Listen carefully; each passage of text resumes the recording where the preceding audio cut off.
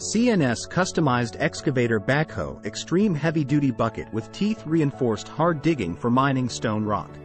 120GP can load about 12 to 14 pieces 1.0 cubic meters or 1.2 cubic meters buckets for 20-ton excavator, width less than 42 inches.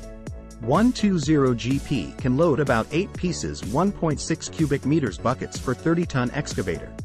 Material hardness equals HB 400 for wear resistant.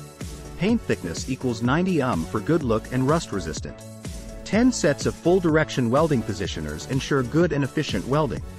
Contact us for more information email cnsmachinery.2015 at gmail.com.